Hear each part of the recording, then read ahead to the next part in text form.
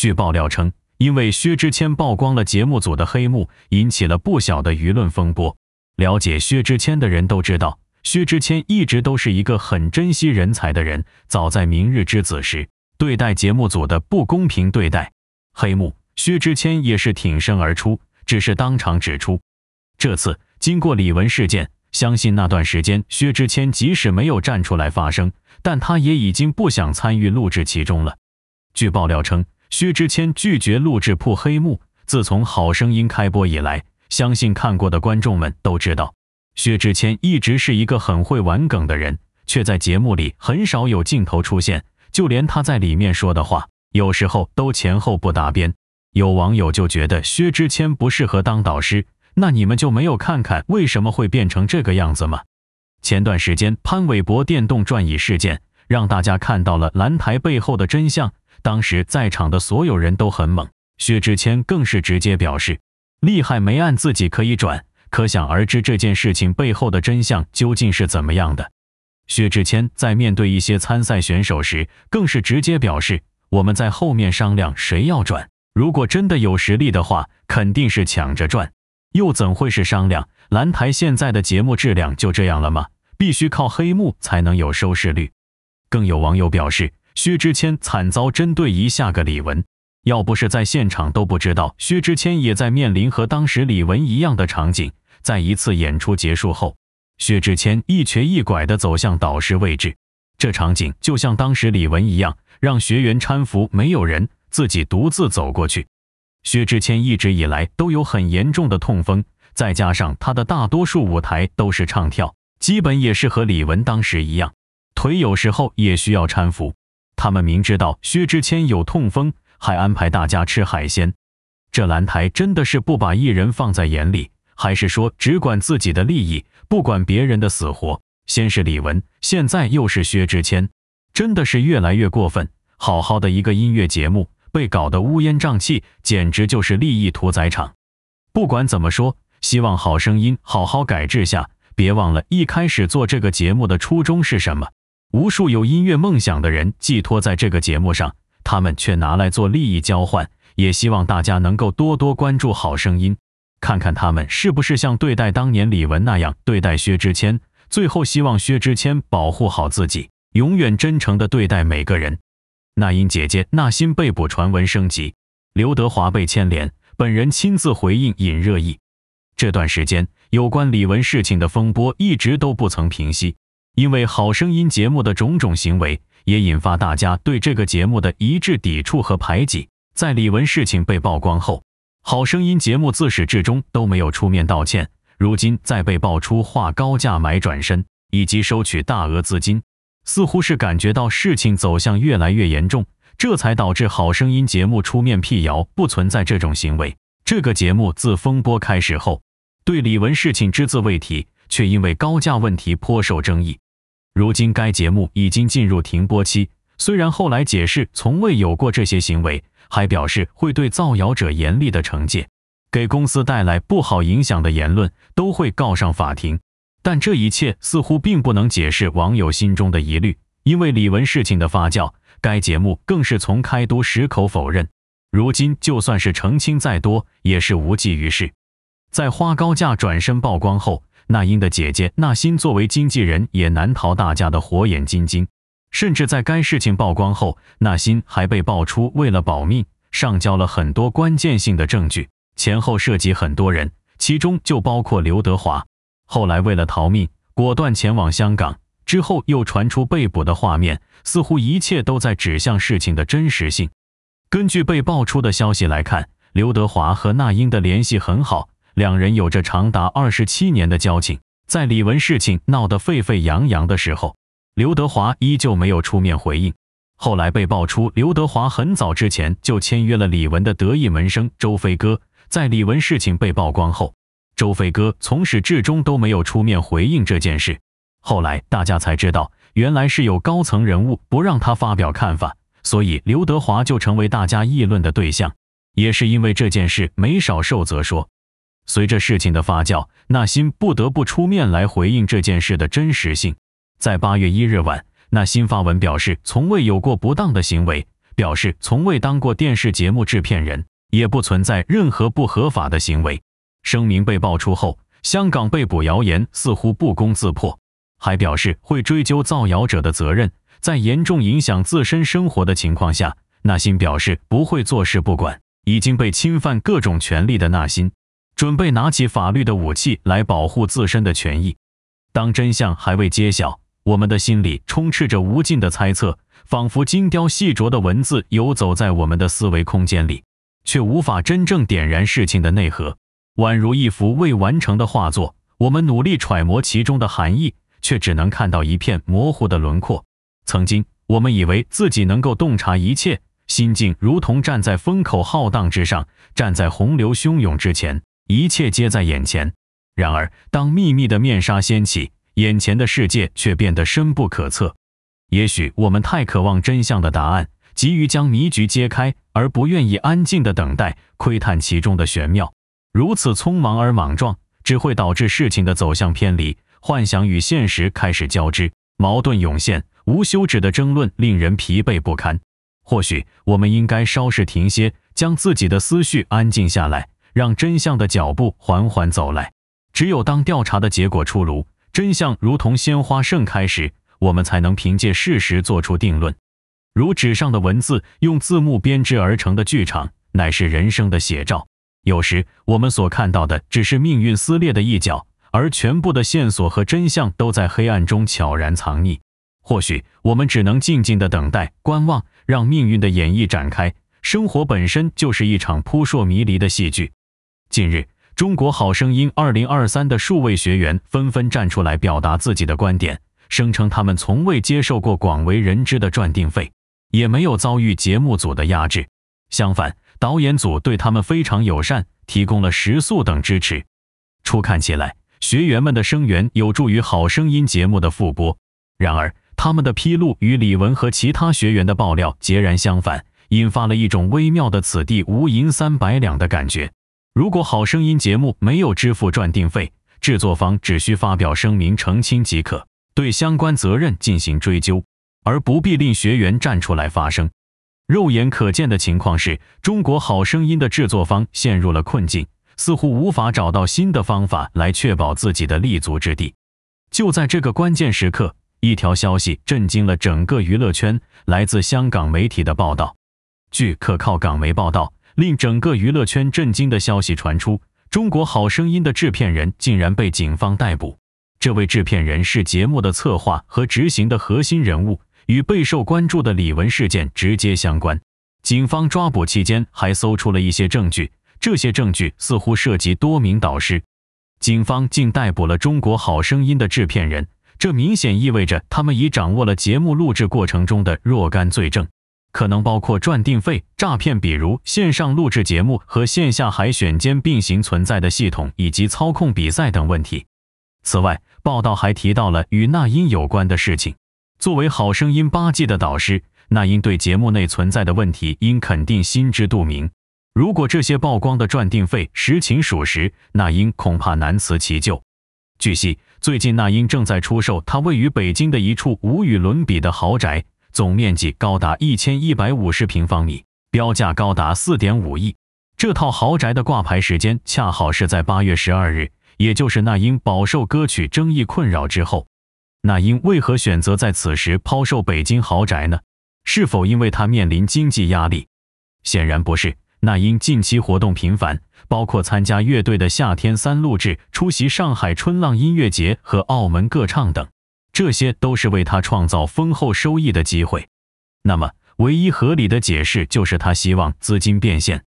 罗刹海市的风波和李玟音频事件使那英成为舆论焦点。他的短视频账号拥有超过两百万粉丝，留言数量更是达到了千万级，刷新了记录。这也让他深感危机的压力。那英的两场线下活动目前都取消或者延迟了，理由是生病。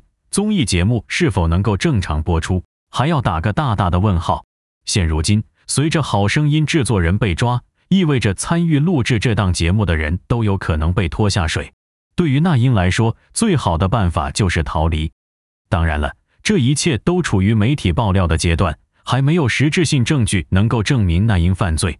但不管怎么说，那英这一次都难像上一次那样简单过关，这不禁让人想起了娱乐圈明星常说的一句话：艺人应该是未曾学艺，先学做人。如果人都做不好，艺术造诣再高也是徒劳。如果说《好声音》停播是正义战胜了资本，那么那英演唱会终止就是才华战胜了龌龊。在李玟事情爆发之前，旁人只会觉得刀郎新歌内涵太过小家子气，而现在再看，刀郎还是保守了，什么狗狗赢、一丘和简直再合适不过，甚至不少网友都觉得不够大快人心。换言之，可谓是天下苦那英久矣。一直以来。我们好声音都被网友戏称为那英好声音。那英前前后后参加八届我们好声音，结果三届冠军，两届亚军，没夺冠的几次也是败给了汪峰这样的自己人。这要是没点内幕，都对不起这个成绩。更何况那英的姐姐那心还是我们好声音的创始人。一件事情说是巧合，这么多巧合堆砌在一起，是不是就有些说不过去了？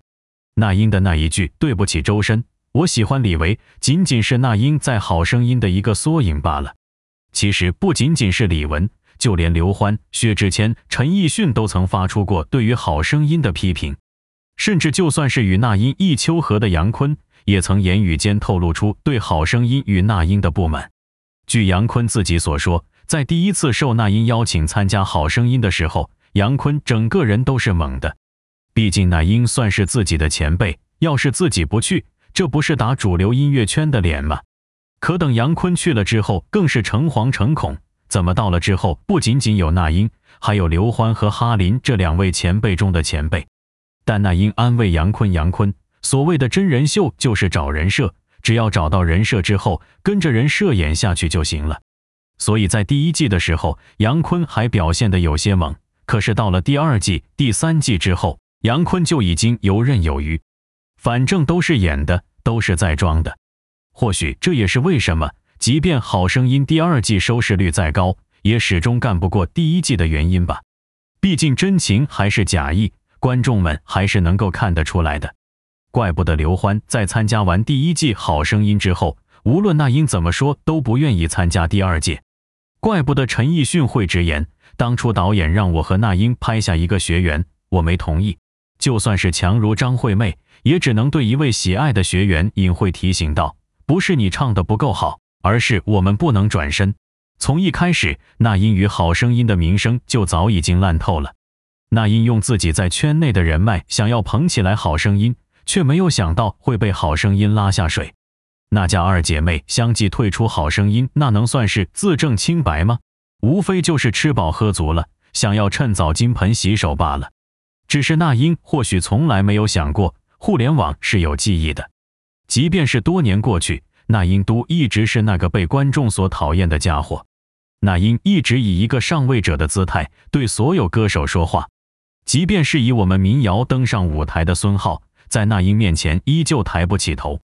这种高傲的姿态，一是来源于他的老师古建芬在圈内的地位，二是来源于他那近乎夸张的架势。都知道那英是满族人，但很少有人知道那英算是叶赫那拉氏的分支，祖上也算是镶蓝旗，和慈禧算是同族。别的不说，王彦祖上仅仅只是圆明园住过，是不是主子还不一定，就一直傲得不可方物。更不要说那英这个彻彻底底的贵族，光是这个祖上荣光，就足以让那英面对大多数人的时候，都保持一个高傲的形象。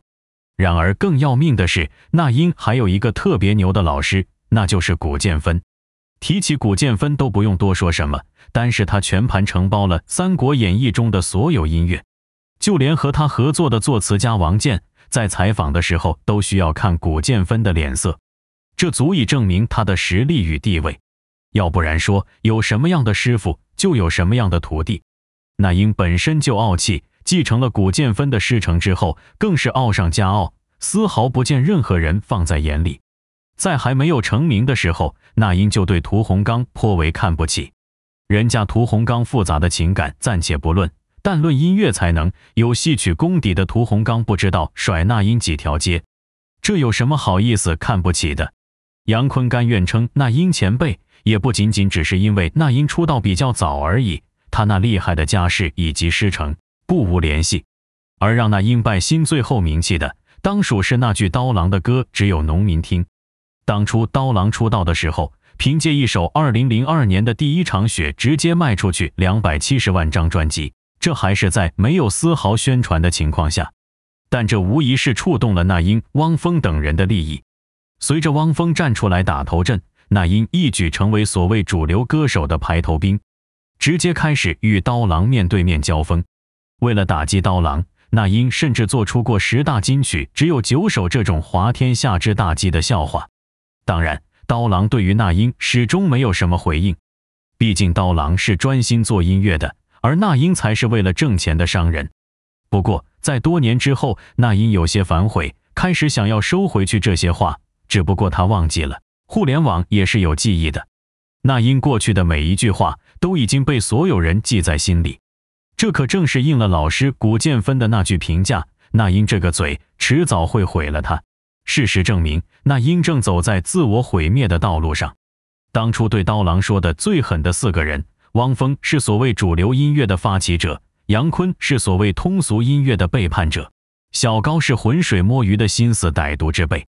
唯独那英明明是没有任何脑子的从者，却背负了最大的说明。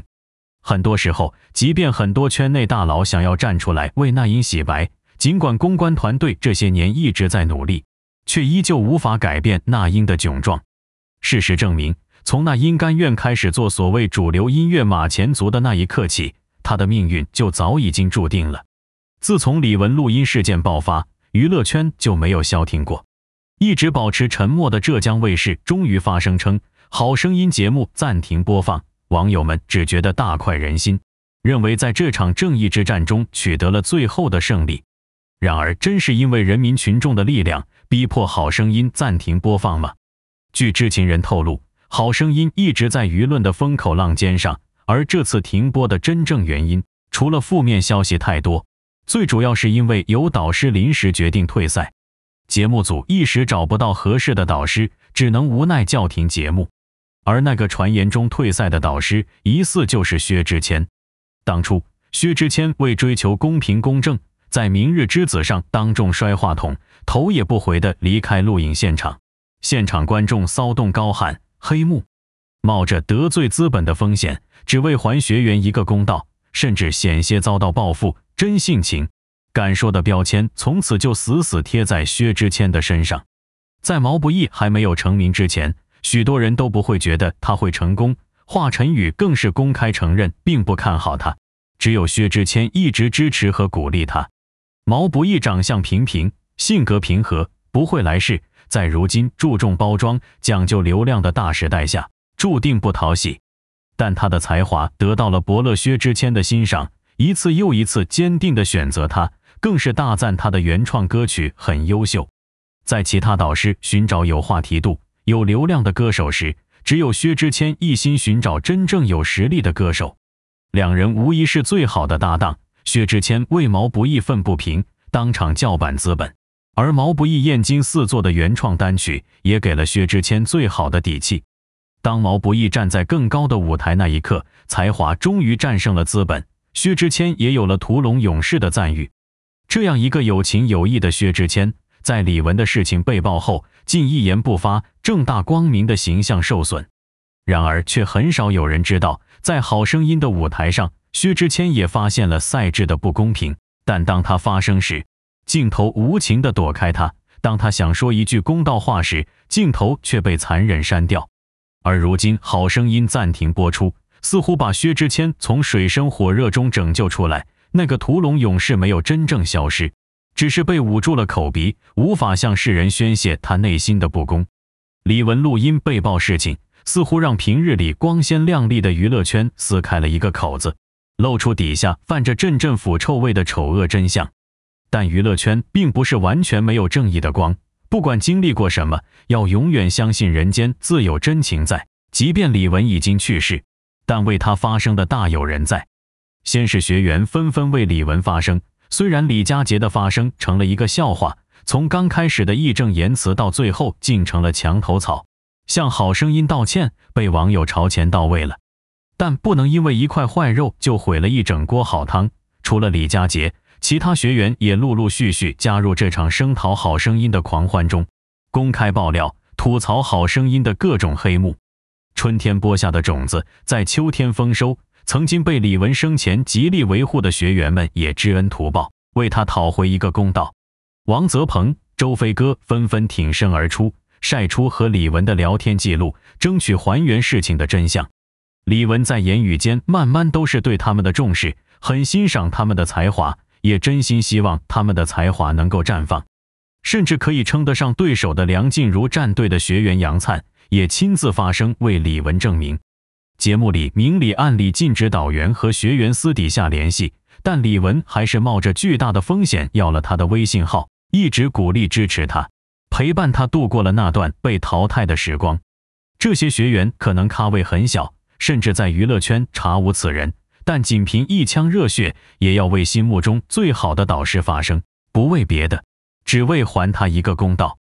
天理昭昭，报应不爽。此刻，他们为李玟发声的模样，比一线明星身上的光芒都要耀眼。连曾经和李玟有过短暂交情的学员都肯为李玟发声，更不要提他的好友。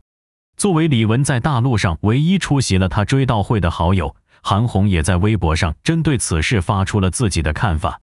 言语间能够看得出韩红很理智，她直言：“我无法对这件事情做评判，但我期待上级主管部门的调查结果。”虽看似没有替李玟主持公道，但句句都在重点上，言语间还是能够看得出韩红对李玟所遭遇的事情痛心疾首。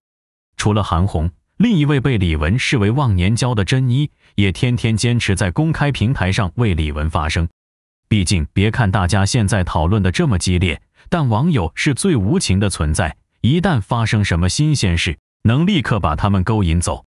等再发生类似的事情，大家继续骂，循环反复，该解决的问题还是没有解决。等热度一过，该苟的节目继续苟着，该赚的钱还继续赚。或许早就了解娱乐圈的真相，珍妮才会坚持每天都为李玟发声。只有一直维持热度，才有可能为李玟讨回公道。除了好友、合作方都看不下《好声音》的各种操作了，以前做过的孽终究要反噬到自身。长春广播先锋电视台率先公开发博表示，永远不和《好声音》合作。其品牌乳业也在社交平台以短视频的形式，在上面赫然写着抵制蓝台，从我做起。作为《好声音》独家冠名合作方，评论区早就沦陷，清一色的让康师傅终止和《好声音》合作。康师傅最终只能无奈关掉评论，暂避风头。深受人民爱戴的，人民会高高把他们捧起。而失了民心的，终究走不长远。从好声音上升到蓝台，互联网是有记忆的。好声音的猖狂也是有蓝台在后做靠山。蓝台这些年不把艺人当回事，早就引得粉丝怨声载道。只不过一切都被资本压了下来，粉丝们也投诉无门。高强度录制导致高以翔晕倒延误救治猝死，张新成扳手腕手臂骨折，至今胳膊上还留有一条长长的疤。让张杰和世界吉尼斯纪录保持者比吹气球，最终因缺氧倒地受伤，逼迫张一山喝辣椒水，最终竟被救护车拉走。这一桩桩，一件件，有哪点冤枉蓝台了？希望好声音这次停播能够真正给观众一个说法，而不是敷衍了事。也希望蓝台能够把艺人当成人。据报道，中国好声音母公司星空华文盘中二十八日再度暴跌，仅仅。七个交易日，该股从一百二十四港元跌至三十港元不到，累跌百分之七十七，市值蒸发三百八十亿。股价暴跌不说，李玟的前辈珍妮也一直狙击不放。二十九日，珍妮再度发声炮轰《中国好声音》。珍妮称，李玟走到哪里都大声告诉别人，她是中国武汉的姑娘，这么爱国的姑娘却被自己的国人欺负至此。珍妮喊话《中国好声音》，于心何忍？并劝解《中国好声音》别为钱丧天良，别乱用中国名，别践踏孩子梦想，别不守法纪，其他你请随便玩。珍妮还表示自己在李玟追悼会上坐在第一排，当天大荧屏里不停播放着娱乐圈人士悼文影片，每个人都对李玟说“我爱你，好走”。可是李玟音频爆出，为他发声的圈内人士却寥寥无几，这让珍妮觉得很是反胃。二十九日，珍妮继续发文，究竟谁会被记起？很好奇，拭目以待。之后又 Q 到了柳离、泽鹏等人。珍妮称，若没有柳离及现场工作人员的恶行恶状，怎么会引起公愤？掀开序幕。若没有两位知恩图报的学员挺身而出，提出影音证据，我们也不敢大声穷追始末，掀开真相，旁无忌惮。珍妮还猜测，中国好声音内有吹哨人，故意将黑幕泄露。否则，《中国好声音》一百个小时剪辑成了数十分钟的精华，却还是暴露了潘玮柏电椅自动转的破绽。的确，在某期节目中，潘玮柏明明双手抱在一起，压根没有碰按钮，但椅子却自动转了。椅子自动转了之后，潘玮柏也是一脸懵的状态，嘴里还说了一句“哇”，可但之后很快便反应过来，表情很是无奈。中国好声音风波不止，也让那英影响颇大。他先是请辞了春浪音乐节，之后又取消了演唱会。十月一日、二日，那英本定于澳门开演唱会，还设置了六种级别的门票，票价甚至比周杰伦的还贵。可是票卖了两天，每个档次的都有余票，号召力大如从前。二十九日，狗仔爆料某风口浪尖的某艺人演唱会要取消了。随后，那英便官宣了演唱会延期的消息，说是延期，可是主办方却把票全额退款，也没官宣重开的时间，很显然取消了。演唱会方虽然称那英因为健康问题才无法出席演唱会，因此演唱会会延期举行，但背后真实的原因不言而喻。好声音事件没有结束，仍有人在发声，也有人受到了影响。相信只要大家一直关注。总会等来一个结果。那英姐发文辟谣，我没去过香港。等我告你。那英和刀郎之间的事情已经越来越难以掌控，不仅参与的人多了，综艺节目也多了。当然，此时流言满天飞，以前电话天天响，看看他为什么这么生气，要告人。此前网络上有多种说法，有香港媒体爆料，妹妹逃往香港机场，被当地警方当场逮捕。这样的谣言确实有些过分了，给那位姐姐造成了很大的伤害。他还表示，他为了自保而向姐姐那英表白，最终从姐姐家收取的财富更是数不胜数，而这其中就包括网上流传的转账费。也有人表示，刘德华公开了那英和李玟的关系，这不仅涉及那英，还涉及天王刘德华。港媒还称，负责人可能被判入狱三十年，听起来确实很恐怖。难怪姐姐的电话一直响个不停，让她心烦意乱。但他本人的说法与最近网上流传的说法完全不同。他表示自己不是制片人，也没有制作过任何电视节目。互联网上充满了谣言。该资深记者也在九月二日凌晨发独家报道称，他已尝试亲自求证姐姐。他表示自己从未去过香港，一切都是编造的，这严重影响了他的生活。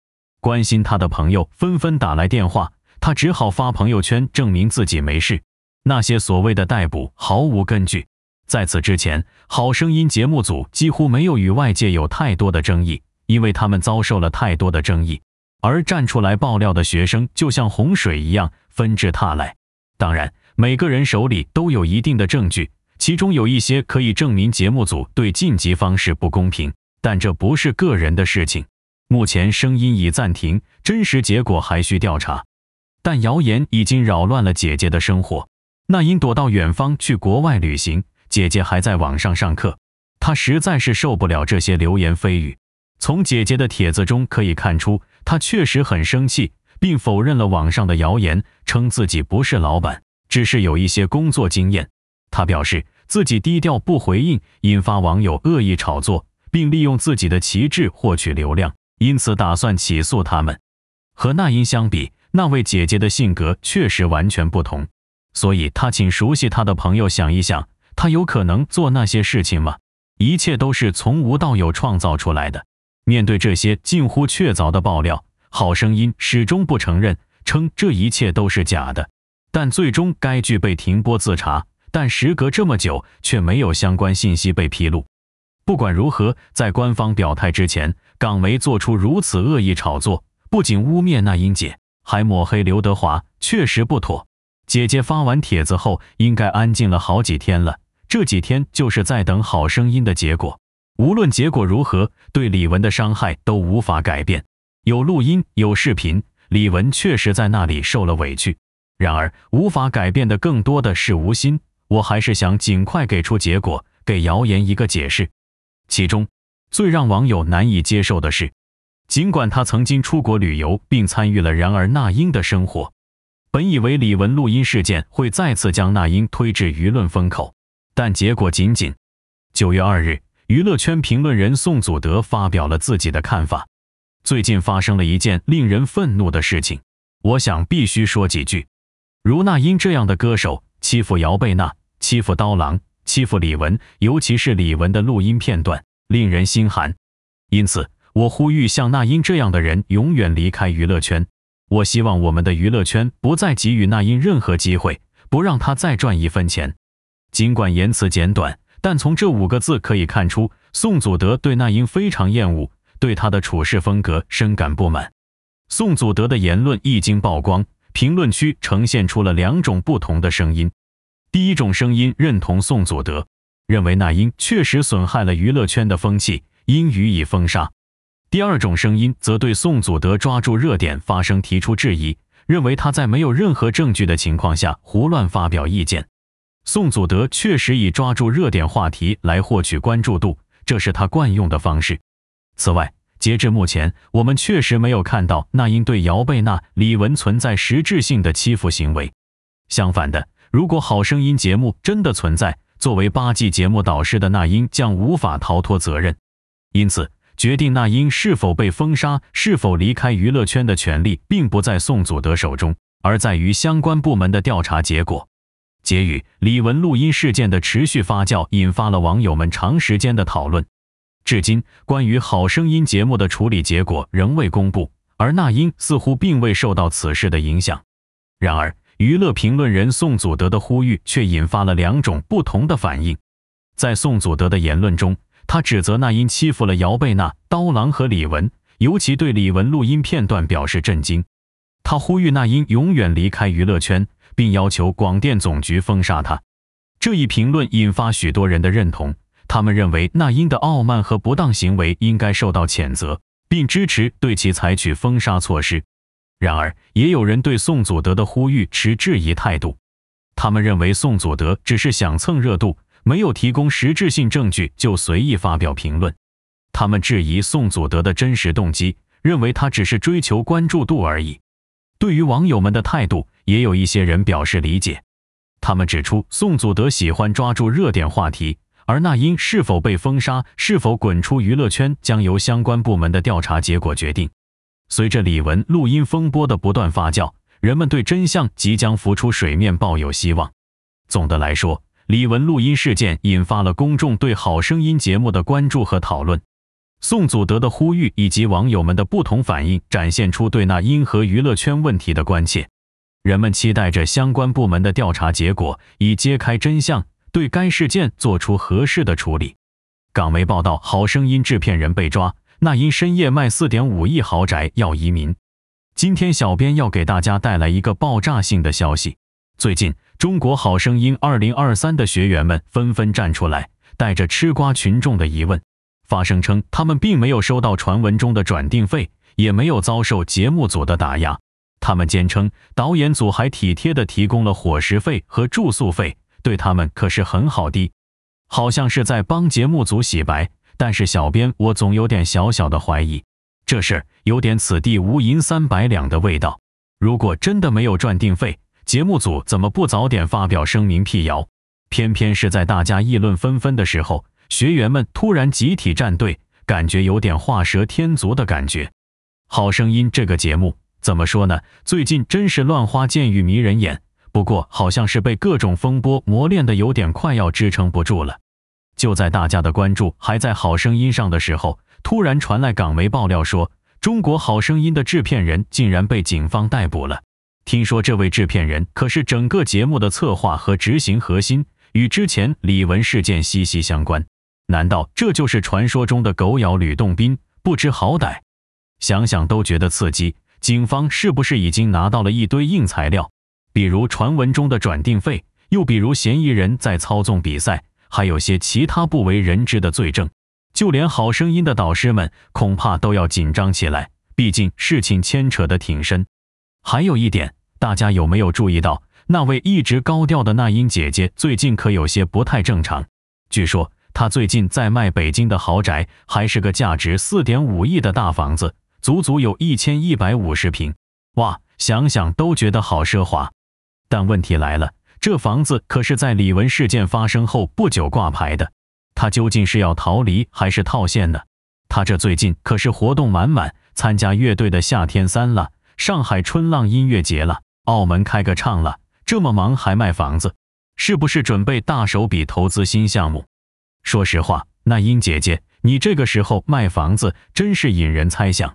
好声音整个风波已经将她推到了舆论的风口浪尖，社交媒体上满满的都是讨论她的声音，真是不好受。最近她的线下活动也一个接一个的取消了，理由是生病。但是大家都知道，这背后可能隐藏着更多的问题。就连他的综艺节目也变得岌岌可危。随着制片人被抓，好声音参与录制的人恐怕都要被牵扯进去，这可不是什么好兆头。当然了，这些都只是媒体的报道，还没有实质性证据，我们不能轻易下结论。但是不管怎样，这次那英可没那么轻松了。可能真的要面对些麻烦了。总之，娱乐圈的事情真是一个接一个，真是说的没错。艺人应该是未曾学艺，先学做人。要是人做的不好，哪怕再有才华也是白搭。大家怎么看呢？那英停演，杨坤被嘲，汪峰离婚。这一次，只有刀郎成为了赢家。或许刀郎从未想过要赢谁，但是大众就想让刀郎好好赢一次。这一次，刀郎是真的赢了，而其他人也确实输了。时隔三个月，刀郎笑着再次唱起了《罗刹海市》，依然还是发布在了他的短视频账号，又是一阵狂欢。毕竟等这首歌，大众等了好久，《罗刹海市》还是《罗刹海市》，刀郎还是刀郎。可是周遭已经物是人非，好声音停播了，那英停演了，汪峰也离婚了。刀郎尽情演唱，不经意间的一笑，让人浮想联翩。可以说他在享受音乐，也可以说他在尽情的嘲讽。毕竟如今来看，他是真的笑到了最后。一，中国好声音停播。这个夏天，在争议之下，中国好声音仅仅播出四期，就宣告了停播。升级改版已然是常态。这一季不仅四大导师全部更换，又新增民选赛道，想要挽救日渐下滑的好声音，结果无济于事。从官宣开始就争议不断，当然伴随着刀郎新歌《罗刹海市》的发布，一句未曾开言先赚定形象贴切的演唱更是火上浇油。当然，真正摧垮好声音的还是李玟录音事件，而这一事件不过是所有问题积累的爆发。好声音怎么也不会想到，原本以为信誓旦旦、大刀阔斧的改版，最终仅仅只播出了四期节目，就再也无缘和大众见面了。因为他得罪的不是一个人，而是所有民众。中国好声音始于二零一二年，终于二零二三年。当然，未来依然有可能回归，但如若还是老样子，那就是名存实亡。十二年。弹指一挥间，曾经的每个夏天，大街小巷都是在讨论着《中国好声音》。可是如今早已成为了过街人人喊打的老鼠。诞生过的十一位冠军，发展参差不齐，有些没有获得很好名次的，反倒弯道超车。这就是《好声音》的尴尬之处。《好声音》在音乐史上有过贡献，可终究还是走向了穷途末路。如今我们。还是会怀念那个夏天，那个三五好友一起围观、一起讨论的日子。不管是童年，还是青春，总之有过美好的回忆。但是看到如今的好声音，只有唏嘘和遗憾。二，那英停演。八月二十二日，那英因为身体欠佳，请辞春浪音乐节上海站的演出。八月二十九日，那英又因为健康状况取消了澳门演唱会。看到这样的消息，加上爆出的各种新闻，显然身体原因、健康状况，这些都是借口而已。毕竟距离演出活动还有相当长的时间，而当时的那英无疑正处于风口浪尖。先是刀郎新歌带来的影响，然后是好声音停播带来的影响，两者相加，身处危机之中的那英就暂时隐退了。靠着《浪姐二》，那英事业回暖，但没想到五十五岁的她却开始玩起了真人秀，而他这样的性格自然就会引起争议。但不管怎样，综艺从未断过。如今说那英是综艺咖，那是一点也不为过。除了自己专业方向的综艺，还有跨专业的，诸如《萌探探探案》《脱口秀大会》第五季、一年一度喜剧大赛二、向往的生活、中餐厅等。那英早已偏离了航向。曾经的那英有多么火，如今的那英就有多么垮，甚至还不及一个模仿他的网红这英。毕竟不是那英追不起，而是这英更有性价比。曾经的乐坛天后。如今的综艺混子，那英这些年一直都在啃老本。他清楚的知道自己的时代过去了，但依然活在过去。可是如今面对危机，不得不低调了。毕竟都这个年纪了，不想毁掉好不容易积累起来的口碑。如今所遭遇的，是他必须要面对的，也可以说是对过去所做一切付出的代价。三，杨坤被嘲。杨坤是最先开始回应刀郎新歌争议的。网友说道：“差不多可以收场了，别绑架底层了。被你骂的也是底层。罗刹海市这歌可能骂的就是你哦。”他直接留言评论，最后一句说对了。此后他自己也发布了新歌《白驹过隙》，却遭遇群嘲，被质疑蹭刀郎热度。如今的杨坤和那英一样。但实际上远远不如那英，和那英一样啃着老本，但不如那英那样火爆。四，汪峰离婚。汪峰或许是最为高调的，先是发了一段长视频回应了刀郎新歌争议，他否认了过往恩怨，对刀郎只有万分尊重，给新专辑打九十三分，变得圆滑世故、温和了些，不再像以前那么不可一世了。然后。在微博音乐盛典上，汪峰获得了年度榜样音乐人，他更是去现场领了奖。此后又到了清华大学做讲座，汪峰首次回应了汪峰定律热搜梗。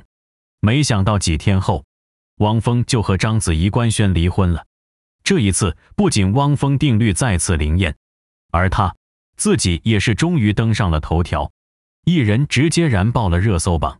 离婚对于汪峰早已是常态，可这一次还是不太一样，毕竟是他有史以来最为长久的一次婚姻，而且又是国际巨星章子怡，可依然没有走到最后。汪峰第四次离了婚，当然，这一次婚姻从一开始就是高调的，从演唱会的八分钟表白，到高调求婚，再到结婚生子，一直到如今离婚，可谓。一路高调，而这段婚恋也是让汪峰事业开启了又一春，但终究汪峰整个事业又再度滑落。从鲍家街四十三号到新一代摇滚领军人物，直至被奉为摇滚教父，汪峰曾经也是大神级的人物，在华语乐坛占据着重要一席。可是如今，不管是事业还是婚姻，都一塌糊涂。这三个多月。好声音停播，那英停演，杨坤被嘲，汪峰离婚，只有刀郎在一路狂飙。那英五十五岁了，杨坤五十岁了，汪峰五十二岁了，刀郎也是五十二岁了，都已经年过半百，进入了人生下半程。可是有人却成为混子，啃着老本只顾圈钱，遭遇口碑危机，事业一路下滑。有人十年磨一剑。苦心钻研，潜心创作，再度封神，事业一路飞升。尽管过往都辉煌过，但是这半生走来，真的是大相径庭。如今的结果更是令人唏嘘不已。出走半生，有人变了样，有人初心不改。这一次，刀郎无疑成为了最大赢家，笑到了最后。